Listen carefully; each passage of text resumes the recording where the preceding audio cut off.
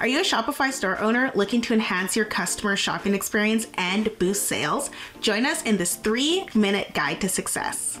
Hi, my name is Jamila, a Shopify expert with Fast Simon, and in today's video, I'm going to show you how to add product filters to your Shopify store in just a few minutes. Plus, stay tuned to learn about the magic of automated filters with Fast Simon. Let's start by adding filters to your Shopify store on desktop. It's quick and easy. First, make sure that you're in your online store, and then go ahead and select navigation. Scroll down and you'll see collection and search filters and go ahead and open up the Shopify search and discovery app. If you don't have it installed, make sure that you install it. So once it's open, click customize filters. Then go ahead and click add filter. Then select your source. I am going to select zodiac sign and it will load the filters. Then you can go ahead and click save. Now let's see what it looks like on the store. You can see that it has availability and brand, so let's refresh. And now it has Zodiac sign. For those of you on mobile, don't worry, we've got you covered. Here's how to add filters using your smartphone. So make sure that you have the Shopify app downloaded and make sure you're in your online store and then go ahead and click navigation. And then you'll see that you also have the option for the collection and search filters. Go ahead and click open and then customize filters. So I'll show you how to do the zodiac sign on mobile as well. Again, you click add filter and then you select your source and then you click save.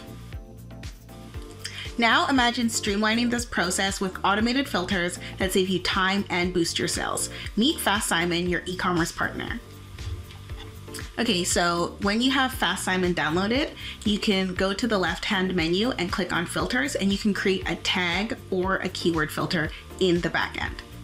So this is how you do it. You click create tag slash keyword filter. And I'm going to say sustainable.